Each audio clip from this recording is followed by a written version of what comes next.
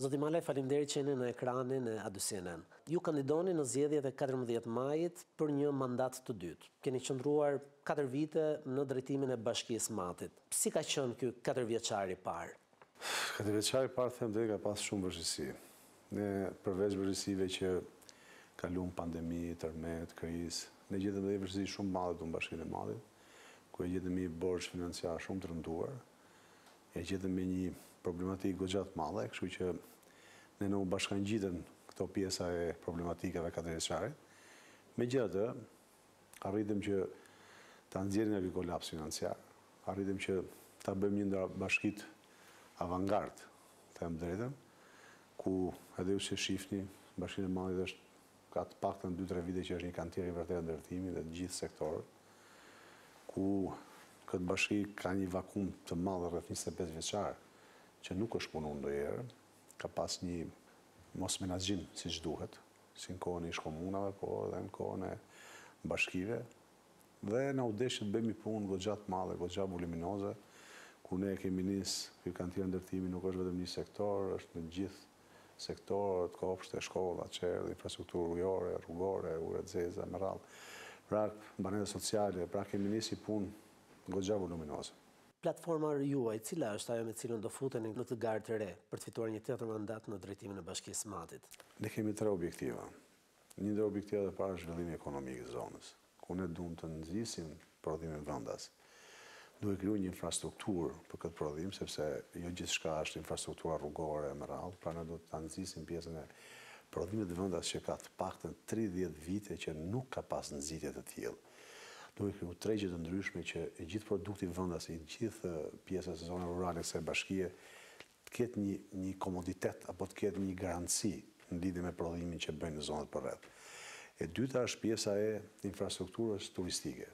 Ne jemi një ndër zonat me një histori më të madhe në gjithë Bashkinë e Matit, në gjithë, pothuajse në gjithë Shqipërinë, ku Bashkia e Matit aktualisht për fat të keq ka goxha zona historike, por nuk janë certifikuara nga nga Instituti i Monumenteve të Kulturës, dhe ne po punojmë shumë për këtë, ku një ndër pjesë kryesore të kësaj infrastrukture janë guidat që po bëjmë, markimet e shtigjeve, info point-et, pra po japim një pamje tjetër turizmit në Mat, ku ne vjet patëm njëzet mijë turistë, mendojmë t'i dyfishojmë, t'i trefishojmë, këta turistë që t'i japim një tjetër dimension kësaj treve kaq të bukur ku një ndër pikat e këtyre zonave turistike ne po bëjmë rehabilitimin e rrugëve që të kenë një infrastrukturë sa më të mirë. Dhe pika e tretë është infrastruktura shumëdimensionale ku jo vetëm infrastruktura rrugore po siç e thashë më parë uji i pijshëm, siç e thashë edhe pjesa e ujrave të zeza ku ne së shpejti duam që Me planin turistik që ne kemi, duam që në, po bëjmë një impiant pastrimi së shpejti, një projekt për impiantin e pastrimit të ujërave të zeza të gjithë qytetit të Burrelit, ku fatkeqësisht sot bin në lumin Mat,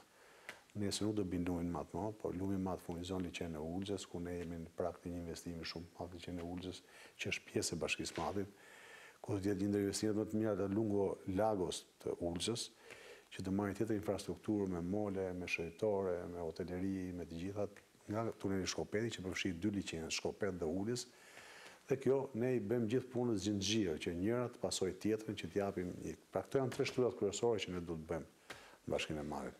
Gjithë matjanët që kanë të drejtë vote, presupozohet që do votojnë në katërmbëdhjetë maj. Përse duhet t'ju votojnë juve?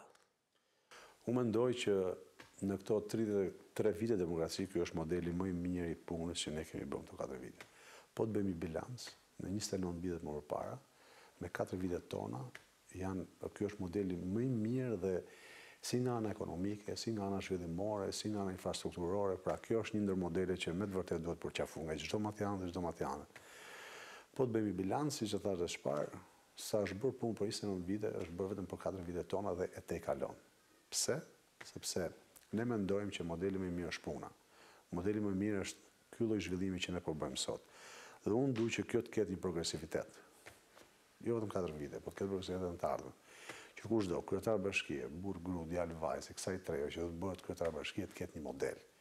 Sepse ne kemi shumë vite që s'kemi një model. Dhe ky model duhet të eci gjithmonë përpara.